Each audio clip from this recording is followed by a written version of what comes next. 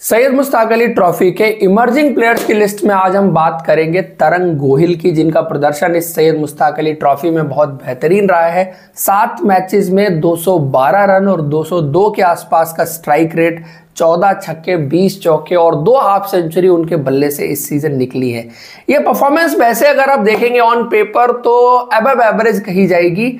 लेकिन इस बल्लेबाज ने अपनी बल्लेबाजी में कुछ स्पेशल चीज़ें दिखाई हैं, जिसकी वजह से हमने इसको अपने इमर्जिंग प्लेयर्स की लिस्ट में फीचर किया है।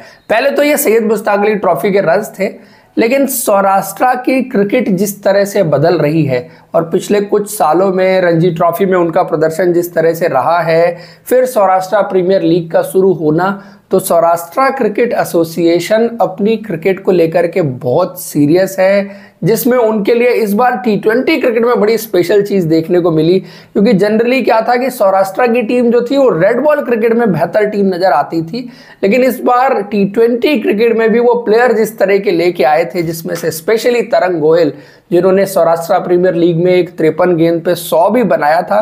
तो स्पेशल चीज़ें स्पेशल खिलाड़ियों ने इस सीज़न कहीं ना कहीं दिखाई। भले ही सौराष्ट्र की टीम बहुत आगे नहीं जा पाई, लेकिन स्टिल जो तरीका था, जो क्वालिटी थी, जो एबिलिटी थी, वो सौराष्ट्र के प्लेयर्स के पास अच्छी खासी थी, जो टीम को आगे लेकर के जा सकती थी। तो अभी इवॉल्व हो रहे हैं शायद, लेकिन आगे आने वाले टाइम में ज़रूर ये टीम टी ट्वेंटी क्रिकेट में भी अच्छा करेगी।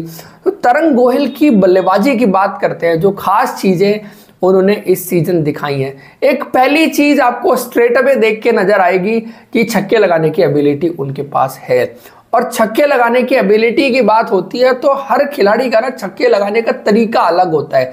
टेक्निक्स अलग होती हैं और स्पेशली जिस तरह से modern day T twenty cricket में टेक्निक्स इवॉल्व हो रही है स्पेशली हिटिंग टेक्निक्स इवॉल्व हो रही हैं और हर खिलाड़ी कुछ ना कुछ नया तरीका लेके आता है। जैसे आपने modern day T twenty cricket में सूर्य कुमार यादव को वो कुछ शॉट्स खेलते हुए देखा है।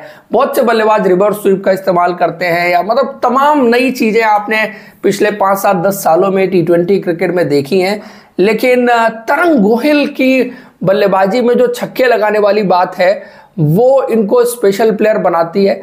जो बाकी शॉट्स जो लगाते हैं, इसमें एक एक बेसिक चीज़ और फंडामेंटल चीज़ जो मैं देखता हूँ कि इनका बैट स्विंग बहुत अच्छा है। और कई बार होता है कि बल्लेबाजों का बैट स्विंग अच्छा होता है बट आर्क उतना बड़ा नहीं होता। ये देखते हैं कि फ्रंट पैड जिस तरह से क्लियर करते हैं, उससे होता है कि आपको बैट स्विंग पूरा मौका मिलता है, बल्ला जो है वो तेज़ी से घुमाने का। क्योंकि अगर आपका फ्रंट पैड सामने लाइन में रहता है तो आप थोड़ा सा रिस्ट्रिक्टेड रहते हैं आपका बैट स्विंग उतना फ्लो फ्लॉलेस नहीं हो पाता है। जितना आप देखेंगे कि अगर फ्रंट फुट आप साइड में कर देते हैं, उसके बाद आपको वो चीज़ देखने को मिलती है। तो ये चीज़ है। दूसरी चीज़ आप देखेंगे इनकी बल्लेबाजी में कि बल्ला बड़ा सीधा आता है इनका।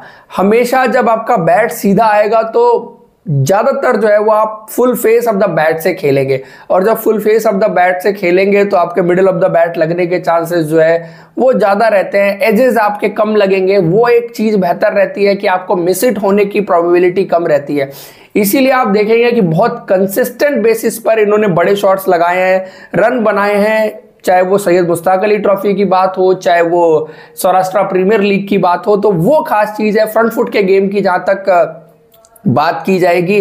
दूसरी चीज़ आप देखेंगे कि ये जो फ्रंट लेग को क्लियर करना और बड़े शॉट डाउन द ग्राउंड मारना, ये इन्होंने फास्ट बॉलर के खिलाफ ज़्यादा किया है। लेकिन जब स्पिनर के खिलाफ खेलने की बात आती है तो फिर अपना फ्रंट फुट जो है, वो सही जगह रखते हैं, जहाँ आइडली होना चाहिए।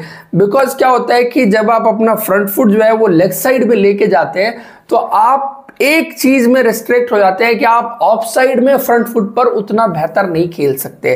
तो फास्ट बॉलर को खेलते हुए इन्होंने बहुत सारे शॉट्स जो है, वो बेसिकली बैक फुट से ही डाउन द ग्राउंड उन्होंने छक्के मारे। ये बड़ी खास बात है। दूसरी चीज़ जो बल्लेबाजी में खास बात आएगी, वो ये रहेगी कि जब, कई बार आपने जैसे फ्रंट फुट ओपन किया और गेंदबाज आपसे दूर चला गया तो वहाँ से फिर, और आपका बल्ला एकदम सीधा ही आता है। आप बल्ला, ऐसा आर्क वाला आता नहीं है कि आप वहाँ से जो है, वो शॉट लगा देंगे। तो इन्होंने कुछ शॉट्स बैकफुट से जो बिल्कुल स्ट्रेट बैट से down the ground ground ground जिन्होंने जो शॉट्स मारे हैं, वो इनको ज़रूर एक स्पेशल खिलाड़ी बनाते हैं छक्के मारने के मामले में, अगर आप कहेंगे फास्ट बॉलर के खिलाफ। दूसरी चीज़ स्पिनर के खिलाफ गेम की बात कर रहा था तो उसमें बड़ा सेटल्ड रहते हैं। ऐसा नहीं है कि हर गेंद पर इनको फ्रंट फुट जो है, वो उधर लेके जाना है। तो ये बेसिकली अंडरस्टैंड करते हैं। बिकॉज़ स्पिनर के खिलाफ जब आप खेलेंगे ना उस तरह के शॉट और स्पिनर ने आपको पेस नहीं दी या फ़्लाइट में फंसाया तो आप उधर फंस जाएँगे। तो इसलिए हमेशा स्पिनर को प्रॉपर तरीके से खेलते हैं।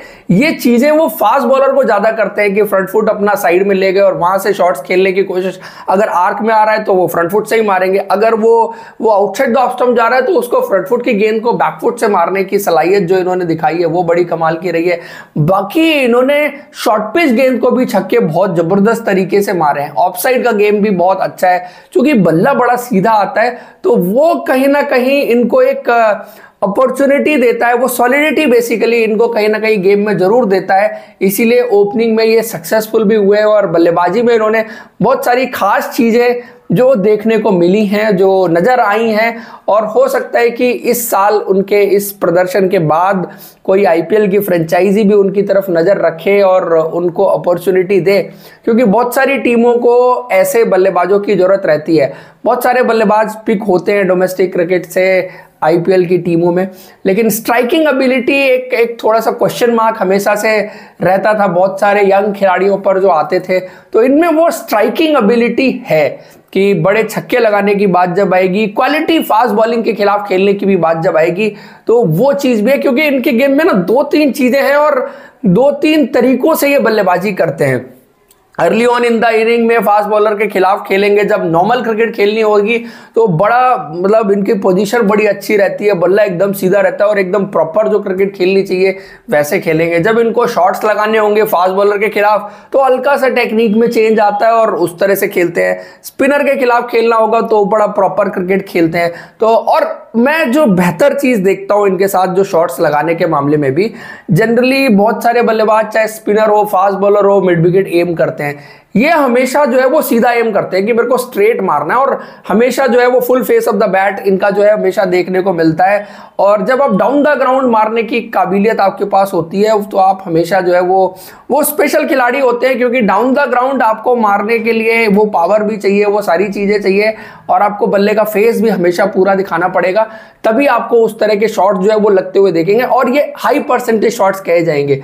बिकॉज़ जब आप मिड विकेट एम करते हैं तो बैट जनरली जो है वो कुछ इस तरह से आता है तो उसमें कभी एज लगने और उस चीज़ों के चांसेस होते हैं। इधर एज वगैरह के चांसेस कम होते हैं बिकॉज़ ऑफ़ द बाउंस या बिकॉज़ ऑफ़ द जो ज़्यादा बाउंस हो जाए या कम बाउंस हो जाए, उसमें जो मिसिट होते हैं, उसकी वजह से। हाँ गेंद टर्न होती है मूव होती है तो वो प्रोबेबिलिटी अलग है।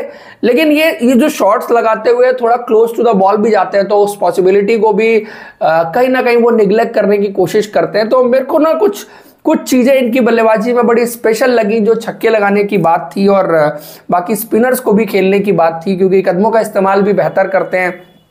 तो ऑल एंड ऑल बड़े ऑलराउंड प्लेयर लगे। 201 202 का स्ट्राइक रेट मेंटेन करना पूरे सीज़न में और साथ में सौराष्ट्र प्रीमियर लीग में भी इन्होंने बहुत अच्छी बल्लेबाजी की। तो ज़बरदस्त चीज़ थी, देख के भी बल्लेबाज जो इसको मज़ा आता है आपको कि हाँ कुछ बल्लेबाजी हो रही है स्पेशल सिर्फ़ रन्स और रिकॉर्ड की बात नहीं है, जिसको देख के भी लगता है कि यार कोई प्लेयर खेल रहा है। तो काइंड ऑफ़ प्लेयर ही बॉस जो अभी इस सीज़न मेरे को लगे। तो इसीलिए हमने फीचर किया इनको emerging player of this Syed Mushtaq Ali trophy season 2023 की लिस्ट में इसी तरह से हम और खिलाड़ियों की बात करेंगे। आने वाले वीडियोस में आपको फ़िलहाल ये वीडियो पसंद आया तो आप लाइक ज़रूर करें और आपने अब तक हमारे चैनल को सब्सक्राइब नहीं किया तो सब्सक्राइब कर लीजिए। Thank you so much see you in next video